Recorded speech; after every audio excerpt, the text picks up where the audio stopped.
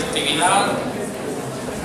Quiero dar un saludo a Joaquín Gómez, a Jesús Santriz, a los señores alcaldes de Fonseca, Nación, Barrancas, a todos los ciudadanos presentes aquí, reunidos en torno a un tema sublime, el tema de la paz. Yo quiero hablarles de dos componentes importantes de la paz, vista desde los pueblos indígenas. Quiero hablarle de la estética y la ritualidad que debe tener la paz.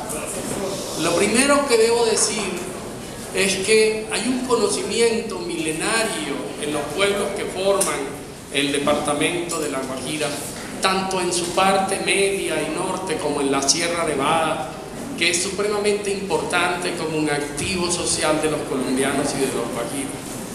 Quiero decir que para los indígenas el tema del conflicto es propio de los seres vivos, no es exclusivo de los humanos. Yo quiero recordar una frase del más grande palabrero que he conocido en mi vida, Ángel Amaya Uriana, quien decía, ¿quién en día hoy no tiene enemigos y hasta los animales lo tienen? No lo tiene la hormiga, aunque pequeña, no lo tienen los pájaros, aunque mansos, no lo tiene la culebra, aunque feroz. Todos los seres vivos tienen sus adversarios. Nosotros los humanos no somos la excepción, aunque no comamos a nuestros enemigos con los dientes. Escúchame, que he venido desde Ribacha, una tierra lejana, y me he alojado en tu casa sin ser tu pariente, sin ser familia tuya, para invitarte a la paz.